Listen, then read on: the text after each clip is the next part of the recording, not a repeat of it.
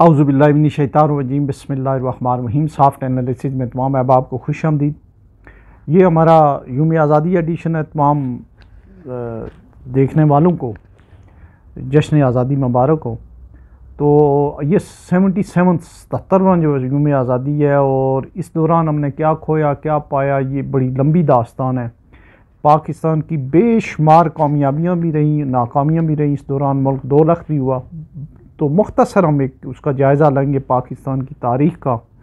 تو آپ سے گزارش ہے کہ اگر ابھی تک آپ نے چینل کو سبسکرائب نہیں کیا تو سبسکرائب کر لیں، ویڈیو کو لائک اور شیئر بھی کر لیں۔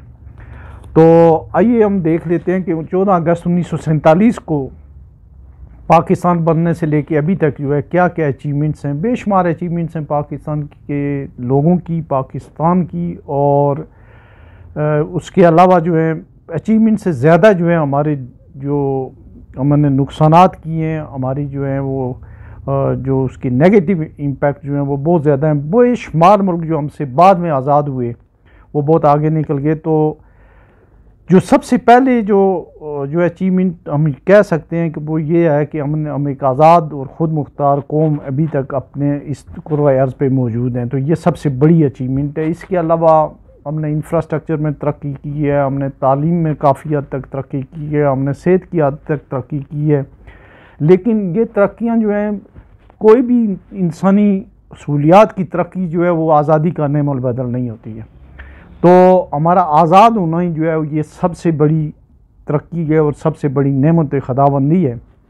اور اگر پاکستان نہ ہوتا تو ہم میں سے بے شمار لوگ جو ہے آج اس اس پوزیشن میں اس پہ نہیں ہوتے۔ یہ اللہ کا لاکھ لاکھ جو کرم رہا ہے آزادی جو ہے، اس کو بہرحال اس کا کوئی چیز نام نعم البدل نہیں ہے۔ نہ کوئی اس کا نعم البدل روزگار ہے، نہ کوئی سہولت ہے، نہ کوئی بنگلہ ہے، نہ کوئی فارم ہاؤس ہے اور نہ کوئی بڑے سے بڑی پوسٹ ہے۔ اور اس کا ایک مظاہرہ ہم ہندوستان کے مسلمانوں کا دیکھ رہے ہیں۔ کہ جہاں پہ ابوالکلام آزاد صاحب نے بڑی پیشن گوئیاں کی تھی لیکن اس بارے میں انہوں نے وہاں کے مسلمانوں کے بارے میں کوئی پیشن گوئی نہیں کیا جھوٹ سچی جیسی بھی پیشن گوئیاں ہیں، وہ ادھر کے لیے کرتے رہے۔ ابھی جو ہے وہاں پہ مساجد کے اوپر، دہلی میں اور جو اس کی جو پٹنہ وغیرہ جو ہے، بہار، یو پی، سی پی میں بے شمار جو مساجد اور مدرسے تھے، ان کو سرکاری تحویل میں لے لیا گیا ہے۔ مساجد پہ قبضے ہو رہے ہیں۔ مقبوضہ کشمیر کے حالات دیکھیں۔ جھارکھنڈ کے حالات دیکھیں، سکھوں کے حالات دیکھیں، انڈین دوسری منارٹیز کے حالات دیکھیں، اس حساب سے جو اگر دیکھا جائے تو پاکستان واقعی ایک، جو ہے، ایک اچیومنٹ تھی قائد اعظم کی، سب کانٹیننٹ کے مسلمانوں کی ایک اچیومنٹ تھی۔ اب ہم دوسری سائڈ پہ آتے ہیں کہ ہم نے آزادی کے فوراً بعد کیا کیا۔ سب سے جو پہلا کام کیا وہ یہ ہوا کہ یہاں سے ہندو اور سکھ گئے تو یہاں مسلمان لوکل لوگوں نے، ہم لوگوں نے ہندوؤں اور سکھوں کی جائیدادوں کے اوپر قبضے شروع کیے۔ سب سے پہلے دوسرا کام یہ ہوا جو انڈیا سے آئے، جو کشمیر سے آئے، پنجاب سے آئے، سی پی، یو پی، جے جے پور جودھ پور اور پٹنہ، یہ جو بہار سے، اس مغربی بنگال سے جو لوگ آئے، انہوں نے جعلی کلیم جو ہے وہ ہندوؤں کی جائیدادوں کے لیے اور یہاں کی لوکل جائیدادوں کے لیے جعلی کلیم جو ہے انہوں نے یہاں سے سٹارٹ لیا۔ جعلی کلیموں سے اور غاسبانہ قبضہ، جائیدادوں پہ غاسبانہ قبضہ؟ اور جو بیت المال کی زمینیں ہونی چاہیے تھی جو حکومت کی زمینیں ہونی چاہیے تھیں، ان کے اوپر جابرانہ قبضے سے جو ہے وہ ہم نے سٹارٹ لیا۔ اور یہاں پہ ایک، اس کے بعد پھر ایک ایسا سلسلہ شروع ہوا جائیدادیں بنانے کا۔ اور مار دار جو جو کرپشن ہوئی، وہ سب سے پہلی کرپشن اسی میں شروع ہوئی کہ کس طریقے سے لوگوں نے اپنے کلیم لیے، کسی نے کس جھوٹے اور سچے کلیموں کی، اس میں ایک یہ بھی رہی ہے، انڈیا والے آج کل اس کو ڈاکومنٹ کر رہے ہیں، دہلی میں وہ اس کی ڈیجیٹلائزیشن کر رہے ہیں، جن لوگوں نے کلیم لیے ہوئے ہیں۔ اگر پاکستان بھی کرے تو درخواستوں میں کیا کیا لکھا ہے یا اگر ان کے پاس ریکارڈ ہے یا نہیں ہے، دہلی میں آج کل اس کی ڈیجیٹلائزیشن ہو رہی ہے۔ تو اس میں وہاں سے یہاں لوگوں نے جو ہے وہ بیت المال یا وہ جو متروکہ املاک تھی، ان کے اوپر قبضے کیے اور اس میں سکھوں اور ہندوؤں کی جائیدادیں جو ادروائز جو ہے، یا تو ادھر کے آنے والے مہاجرین کا حق تھا، جینین حق تھا، یا حکومت کی ہونی چاہیے تھی؟ یہ یہاں سے کرپشن شروع ہوئی۔ پھر جو یہاں کی بیوروکریسی تھی، یا یہاں کے جو ارباب اختیار لوگ تھے، انہوں نے اپنے عزیز و اقارب کو جعلی الاٹمنٹیں کی، ان کو نوکریاں دیں، ان کو دوسری طرح طرح کی۔ اس کی ایک مثال جو قائد اعظم کے مزار کے سامنے ایک عمل کالونی ہے۔ بالکل جو وہاں سے قائد اعظم کے مزار سے جو ہے، جنوب جنوب مغرب کی سائڈ پہ، اپوزٹ ڈائریکشن نمائش میں۔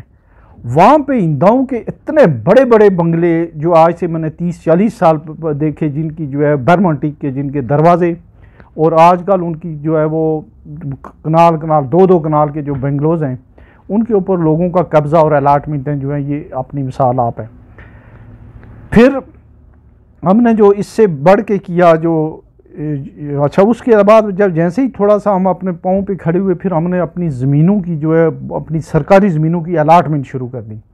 پاکستان کی سب سے بڑی کرپشن جو ہے، اور سب سے بڑا مسئلہ زمینوں کی الاٹمنٹ ہے پاکستان کا سب سے بڑا مسئلہ جو ہے، وہ سرکاری زمینوں کی تھرو اوے پرائسز پہ اداروں کو اور انڈیویجل کو الاٹمنٹ ہے۔ وہ خواہ سرکاری افسران ہوں، خواہ وہ سرکاری ادارے ہوں، یا کوئی اور ہوں تو اس کے لیے سب سے اچھا طریقہ کار یہ ہے کہ اگر آرام کے ساتھ جو ہے اس کا آکشن کیا جائے، جو زیادہ سے زیادہ بولی گا اس کو دے دی جائے زمین۔ تو یہ ایک اس کی جو جو اس کی ایک سلوشن ہے۔ اس کرپشن کی زمینوں کی الاٹمنٹ جو ہے، یہ کرپشن کا سب سے بڑا ذریعہ ہے اور اس کو مارکیٹ ریٹ کے اوپر اس کا آکشن ہو، پھر کوئی جس کو ضرورت ہوگی وہ لے گا۔ ورنہ ادروائز جو ہے یہاں پہ جو ہے وہ سرکاری ملازمین کے قبضے میں بھی ہیں، سرکاری اداروں کے قبضے میں بھی ہیں اور پاکستان پہ قبضے کی ایک جو ہے وہ جنگ جاری ہو گئی ہے۔ اس کے بعد اگر ہم دیکھیں تو وہ بھی بڑا امپارٹنٹ مسئلہ ہے اور وہ ہے جناب ہم نے چار پانچ مارشل لا تین چار مارشل لا لگائے ہیں۔ قائد اعظم کے پاکستان میں، اس میں ایوب خان سر فرست اور ایوب خان کی لیگیسی جو ہے وہ اس کے ابھی تک اثرات جو ہیں وہ موجود ہیں۔ اچھا پھر تھوڑا آگے جائیں، پھر ایوب خان کے بعد جو ہے وہ ییا خان آتے ہیں۔ ییا خان کے بعد جو ہے وہ ضیاء الحق ضیاء الحق کے بعد جو ہے مشرف صاحب آتے ہیں۔ تو یہ جو تین، چار مارشل لا رہے پھر اس کے بعد بھی جنرل باجو باجوہ جو ہے وہ، جو ہے وہ تقریباً جو ہے کنٹرول قسم کی ڈیموکریسی رہی ہے اور بڑا برا حال رہا ہے۔ ہم کو یہ ڈیموکریٹک جو ہے وہ حکومت نہیں رہے ملک نہیں رہے۔ اس کے علاوہ ہم نے جناب انیس سو اکہتر میں بنگالیوں کے ساتھ جو بھی ہم نے زیادتی نہیں کر سکے انہیں اپنے ساتھ جنہوں نے ملک بنانے کا، جن کا بہت زیادہ جن کا عمل دخل تھا، انہیں ہم نے اپنے آپ سے علیحدہ کر دیا۔ انیس سو اکہتر میں ہم ہار گئے، جنگ ہار گئے۔ بیٹل فیلڈ میں بنگال بنگال جو ہے وہ بنگلہ دیش ہو گیا ایسٹ پاکستان وہ ایک بڑی، اس سے بھی ہم نے اتنا کوئی سبق نہیں سیکھا ہے۔ پھر اس کے باوجود جو ہے ہم نے جو کچھ سولین لیڈرشپ میں ایک دو جو لیڈر آئے ذوالفقار علی بھٹو کو پھانسی دی، بے نظیر بھٹو کو مار دیا، لیاقت علی خان جو ہے ان کو جو ہے وہ انہیں بھی مار دیا۔ اس لحاظ سے کوئی اتنا اچھا جو ہے وہ امپیکٹ جو ہے وہ پازیٹیو امپیکٹ جو ہے وہ ہماری ہسٹری پہ نہیں ہے۔ دوسرا جو ہے، جو ملک ہمارا دو لاکھ ہوا، اس کے اوپر جو حمود الرحمان کمیشن رپورٹ تھی، اس کے اوپر بھی عمل دخل عمل درآمد نہیں ہو سکا۔ اور ابھی تک یہ نہیں پتہ چل سکا کہ کون لوگ مجرم تھے اس جو فال آف ڈاپا، ڈاکہ کے یا سیپریشن کے لیے جو ہے وہ ایوب خان کا کیا کردار تھا، ایم ایم، احمد کا کیا کردار تھا، بیوروکریسی کا کیا تھا، اس کے علاوہ جنرل موسا یہ اور یہ دوس جنرل، اب حمید، ان لوگوں کا کیا کردار تھا؟ اور انہوں نے ٹیکا خان، یہ سب لوگ جو ہے اس کو بلیک اینڈ وائٹ میں آنی چاہیے تھی چیزیں اس میں موجود ہیں، اس کے اوپر عمل درآمد نہیں ہوا۔ اس کے باوجود جو ہے، یہ ساری جو نیگیٹو پازیٹیو چیزیں جو ہیں وہ کرنے کے باوجود جو ہے، آزادی بہرحال ایک بہت بڑی نعمت ہے۔ اور اس نعمت کی ہمیں قدر کرنی چاہیے۔ اور اللہ پاک سے دعا کرنی چاہیے کہ ہمارا یہ ملک جو ہے وہ قائم و دائم رہے۔ اور ساتھ ہی ساتھ مسئلہ کشمیر بھی حل، اور کشمیر کے مسلمانوں کو بھی آزادی نصیب ہو، اپنا خیال رکھے گا۔ اللہ حافظ۔